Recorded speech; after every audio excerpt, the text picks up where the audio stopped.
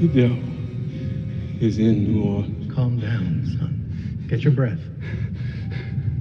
Bless me, Father, for I have sinned, grievously sinned. Sign of the cross, son.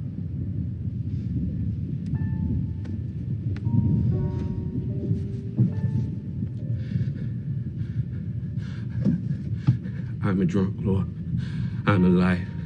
I'm a thief, Lord. I profit off the miseries of other men and I do it easy. Drugs, liquor, women. I, I, I lure them in and grab what they got, Lord.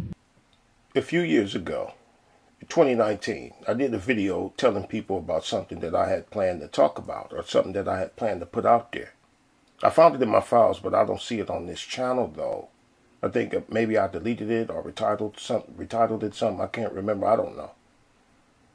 But I do remember Robin commented on it and he said that he wanted to hear it. And I was saying that I wanted to tell people what I think should be happening or what people should do in regards to what was going on at that time. And I did. I started working on it and I'm sure y'all can tell that I put my videos together piece by piece. And I'd say that I got maybe 80% of it done. And I was in no rush either. Then months into it, they let the bug out on us. And, and yeah, I'll continue to describe it as something that was let out on us. Because that's how it happened. Dr. Fauci, knowing that it is a crime to lie to Congress, do you wish to retract your statement of May 11th where you claimed that the NIH never funded gain of function research in Wuhan? Senator Paul, I have never lied before the Congress, and I do not retract that statement. This paper that you are referring to was judged by qualified staff up and down the chain as not being gain of function. So what was, let me take, finish. You take an animal virus and you increase Because that's how it happened. Right. And I see it being brought up in Congress by people like and, Rand and Paul and a few Paul, others, but it's being brought up in a way that suggests uh, gross negligence instead of the deliberate and on purpose that it actually was. Right, but I get, you, uh, you know, I guess that's better than nothing. Maybe they're taking baby steps before they get to the deliberate and on purpose part. I don't know. But I got quite a bit of it done. And when they let the bug out, I, you know, I didn't pay no, you know, when they first let it out, I didn't pay no real attention as far as conspiracies go. Because I thought it was just another virus, you know, like we have flu season or, you know, they'll find the Zika virus, you know, the regular stuff that goes on, on and off every year. But then the extent of what it was started to come out. I didn't really pay it no mind at first. Then I saw everything that I had recorded slowly but surely. I found it to be uh, unsuitable because I saw our unelected kings and queens just doing away with everything that was routine for us. I was looking at how everything I wanted to talk about wasn't going to work. It just wasn't, so I started deleting pieces. And piece after piece became trash, unapplicable to what I was seeing going on and what I was seeing happening on Earth. Not just here in the United States, on Earth. And all that was left was my let's all hold hands thing. I put that video up, it's on here. I even tag it in the description boxes of all my videos. I call it the only solution. But as far as how to get there, I have no idea. I used to have ideas about it, but not no more. And this commentary is kind of like the one I did a week or two ago on my other channel, letting people know that I understand. I understand what it means to be insistent on a position, even though that position might be detrimental or turn out to be dangerous. And I said that I felt that I needed to do a video uh, explaining that before I continue to talk shit about people. Come on, Doodles. All right, this video is a bit it's a bit different as far as the part about being consistent, but it's the same as far as me feeling that I need to put this out here before I continue to talk shit about other people's suggestions as a solution to what's going on these days. I don't have one. I only have that one thing and no way to get there. But I will continue to talk down on people's crazy ideas because do I really need to have a plan before I could recognize what sounds crazy? I don't think so. Robin put a comment on a video I did recently, and he said something that reminded me of one of these crazy ideas that I be going in on. And what Robin said wasn't crazy. I said what he said reminded me of something that was crazy. And Robin said that he has a garden, but it's not enough to sustain his needs. And that reminded me of this. Really, it's not hidden. And what's going on around the world is the same thing that's happening in the U.S. Now, regarding the food, I brought up several times what they were doing with the farms, what they were doing with different instances that they were slowing the supply chains, how they were, you know, messing up the supply chains over at all the ports in the United States, that they were paying the farmers in the U.S. to leave their ground unplanted. They're paying them more than they would have made selling the crops to make sure that they did not plant. They're going around the country to save us all from all these baby chickens that could infect us all. And so this is what's going on. And I was, was bringing up the fact that we're going to have a food shortage long before we actually had any you know idea that this was going to be happening. And here it is. Here it is because this is what they wanted. It makes it so much easier to control everyone as long as they can make them all starving and have to go to the government for some sort of food voucher. Because that's the ultimate control, right? If you have to go and line up to get your voucher to be able to eat, you're going to do whatever it takes for the most part because some people won't have a choice. Living in the big cities, they're like a giant food desert. You know, a lot of people there don't know how to grow food. There's not a lot of space. Actually, there is a lot of space. You could pretty much feed an entire city with the amount of space they have on rooftops most of the time. It's just people don't have the knowledge. Grow on whose roof? I asked him. The clip that you just heard, that I just played, his channel name is called The Silver Report, and I'll put that video in the description box. But I asked him on the comment board, whose roof? Grow on somebody else's roof. On the property owner's roof. And for an apartment build and for apartment buildings full of people, how big are these roofs gonna be? Right, and listen, I don't think that I need to have an alternative blueprint in my pocket in order to know that what he said sounds ridiculous right? And yes, I'm purposely ignoring the context he was speaking in about how he said uh, feed a whole city and the other stuff because he's done other videos about growing in tiny spaces. Like this video, wait, let me see. Like this one right here, titled, this is one of his videos, it's titled, Feed Yourself in One Week Without Any Space, Even in the City. How to Grow sunflower microgreens. So yes, I'm ignoring his context about the rooftops. I'm ignoring it because he said similar stuff like that before in other videos. But I understand. I especially understand the tone in his voice that sounded like desperation and panic. And these are desperate times, and there's plenty of things going on these days to panic about or be fearful of, or to be fearful of, like I was talking about in the other video but those things could lead to uh, irrational thoughts and actions sometimes. So that's all. Before I continue going in on crazy ideas, I just wanted to be known that I don't have one. I don't have an alternative. But I do know what sounds crazy. Like the get out of the matrix. I've already separated from the beast system, and y'all need to do the same as I did, people. Them. Them people. They're not going anywhere. I listened to a dude today who says he's out of the beast system talking about how nervous he was waiting for his background check to be approved by the beast that he's not a part of. Bought a shotgun, a Mossberg, showed it laying there on the bed in the box though, but needed approval from the beast to get something to protect your own self. You're out there on your land building stuff. Why not build a, uh, a catapult to repel intruders? Or why not fashion a spear, a bow and arrow, and a shield made of wood? Why not make a zip gun out of wood with a 9 volt battery? Hey, it, those things kill people too. Why need approval from the Matrix to defend yourself?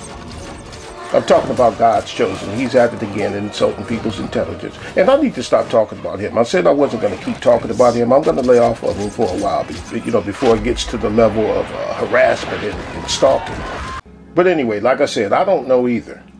Right? And I just wanted to put that out there, especially before I show you David Icke. David Icke don't know either, and he got caught on the spot not knowing. This time, it it was hilarious, right? And what happened was, and what happened, it was nothing new to me.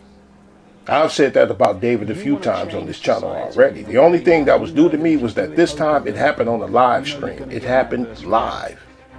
I mean, even I uh, uh, have been shocked to, to watch it, but I've just been watching a video of uh, Justin Trudeau condemning the destruction of uh, freedom and human rights in Ukraine, right?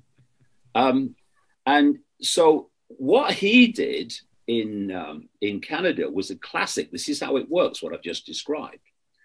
If you are in uh, a Canadian and you're doing what the government wants, and you're behaving in the way the government wants, and you're staying in what I call the postage stamp consensus of um, of reality, then you will think you're free because it seems that you are. No one's stopping you doing what you uh, want to do because what you're doing is what the government want you to do. But as we've seen in the recent weeks, once you step out of that and you start to want real freedom, as opposed to the illusion of freedom, then the system comes down on you like a ton of bricks. And that this is what's happening throughout people's lives. I mean, vast majority of people do. They go from cradle to grave with almost never having an original thought because they're constantly bombarded with this repetition of what they need to believe. And because, well, you know, I, I, I, why should I question anything? What do I know? I mean, the experts know, surely. Scientists know, surely. They're clever and academics and all that stuff. Well, I've got news for you. Most of them don't bloody know. They're just repeating, just like you are, uh, the population, what they're told. There was David in his usual routine, and I'll have the full video in the description box. Now, the dude that he's on the live stream, well, well, actually, it's two dudes he's on the stream with, but one of the dudes he's on the stream with is going to ask him something. Listen to me, little bitch. And he's going to tell David, we already know this stuff. And here David's response. And I'm not going to edit it. So David's answers. response is going to be about three Understand? minutes worth of I don't know. What they're told. Well, and da- and David, we see these quote unquote experts come from this degraded immoral basis, right, of the occult and all this stuff. And it almost seems like because of that, this it's it's getting so ridiculous. You know, we hear this word clown world, right? Where it's clown world out there, and it's becoming such a joke, I think, to people, especially in Alpha Beta community here. Like, I don't know anyone in our community that watches CNN or these channels really anymore, except to kind of laugh at it. So yeah. for the the community here that are already getting this, what can you say to them in terms of the solution for stepping out from their perception? Because I still think we get caught up in these rabbit holes and trying to see these things. And you know, I want to I want to move to this because I think a lot of people in the chat here are wondering, well, okay, we already know all this. Now, what can we do? And I think it's important for me. My uh, what I say is decentralize your spirituality, decentralize all everything in your life, opt out, but also realize that we are still connected, and it's important for us to um, figure out ways to create community and all that. So, which would be great to understand. But yeah, for the people in the chat here going, okay, we know this. What's the next step? Where we go now? What do you say to that? Well, in the end, you know, everything comes down um, to your to your state of consciousness, and in so many ways, if not in the foundation way, that comes down to your self identity. And you know, I, hear you know lots of lots of people get things, but I still see um, a lot of people who uh, get certain things who still get pulled in um, and it's important to, to stay aware of when you're getting pulled in uh, because it's very easy to do so. I mean, it's, it's, it's, it's, it's very easy when you're seeing what's happening in Ukraine uh, to, to get pulled into good guys and bad guys when actually the same, uh, same cult is controlling both sides. Um, but, you know, if you go uh, deeper into this, it all comes down in the end to self identity. And your self identity, in my view anyway, uh, dictates your level of consciousness, your, the, the, the consciousness that you are connecting with. So if you uh, look at those people that I'm, um, I'm talking about, the postage stamp consensus people who um, are manipulated, I feel for them, you know it's not a condemnation, it's just the way the system works. It's very powerful on the psyche when it's all you hear. Um, they um, overwhelmingly will see themselves in limited terms, and they will, because of their download, perceive themselves through the labels of a human life. And the whole foundation, like I said, of uh, human control is to um, get people to perceive everything, including the I, from a five sense perspective.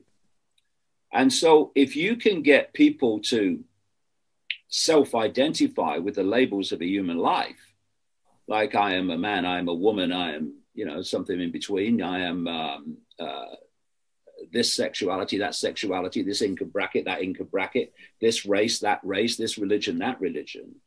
Well, when people are perceiving the I through those labels, they are in five sense uh, reality because they're five sense labels. Uh, and they are not who we are, they are experiences that the true I consciousness is having. But the idea for mass control is to persuade people, manipulate people into believing that they are their labels, they are what they are. Um, and so again, if we if we're talking about um, removing the cause rather than looking for solutions, the solution to everything that is, um, or the removing the cause of the problem to to that which is about self-identification with a human entity with a human labels is not to have that self-identity but to self-identify with being consciousness. What? Bro what are you talking about man? Just say you don't know man just say you don't know just say you don't know what we're supposed to do now that we already know about all these things that's happening. About 11.50. Just say it. I bought the beer. So that's all I had to say about this uh, solution thing. A bottle of beer Who has one? at 11.15. At 11, yeah, at, at 11.15, I, yeah, 11.15. I, yeah, I, s- No, you done fucked up, don't you? I, No, doesn't. no, you don't fucked up.